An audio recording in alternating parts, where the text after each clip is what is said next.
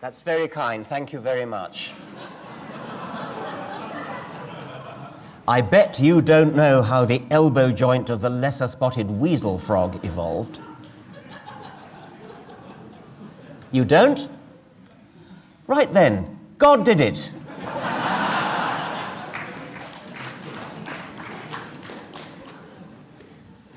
this kind of argument is a failure of the imagination. I've described it as the argument from personal incredulity.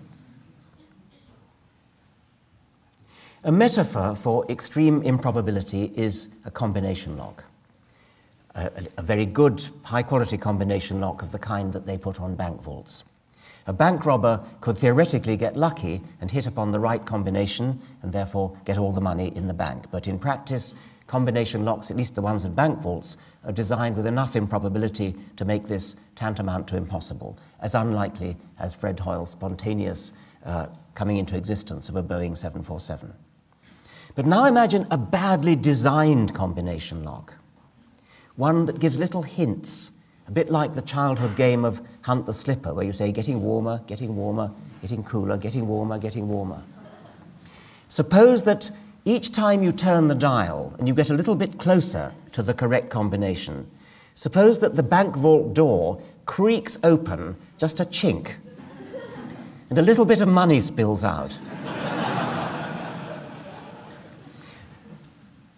The dribbling combination lock, which of course the bank robber would instantly home in on the jackpot if he had that sort of clue.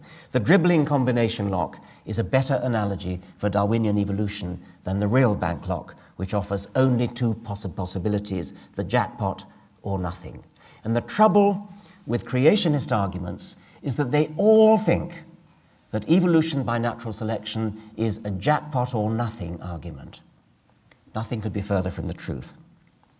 But God, the God theory, on the other hand, really is a jackpot or nothing argument because God is postulated as being there from the beginning before the process of evolution got going. I can imagine godlike beings, like the ones that Crick and Orgel postulated as seeding life from their planet to ours. I can imagine godlike beings such that if we ever met them, I mean, if they came here, for example, in order to have got here, they would have to be godlike because for sure, we couldn't get there. I mean, they need to be technological wizards of a, of a, sort that we have no, no comprehension of. We would worship them as gods, but they would not be gods because ultimately they would have uh, evolved by a gradual process.